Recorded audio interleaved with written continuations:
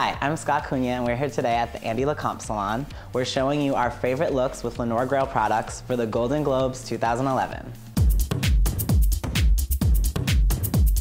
The big winner of the night, Natalie Portman, hit the red carpet with a classic, gorgeous, side-parted French twist, and we're gonna show you how to achieve that using the Leonor Greyl products.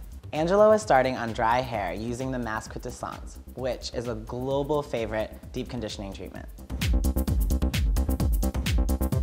Now we're following up with the Shampoo Renaissance. This is an amazing shampoo for people who blow dry their hair. The reason that this shampoo is one of my favorites is because it helps dehydrated brittle hair.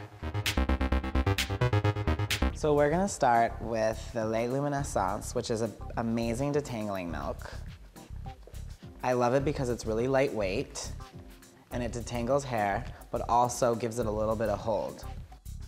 The key is not to spray it on the root because it could weigh down the hair, but on the ends, it's amazing.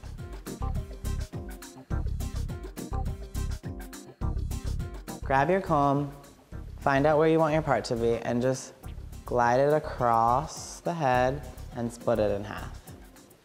So we're kind of brushing it to one side. We're like holding this hair to one side because then we're gonna flip it over to create that higher French twist. You're gonna fold the hair and pin it. So I folded it back over and now I'm gonna start pinning it on the line.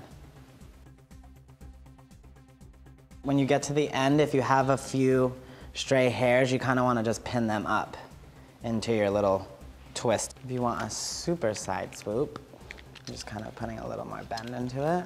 And then you're just gonna pin it into the French twist. Basically, you wanna spray, you know, kind of bring your hands across the sprayed section so that it dries and get it a little bit tighter. I think this is a great look for the red carpet just because it's so classic and structured.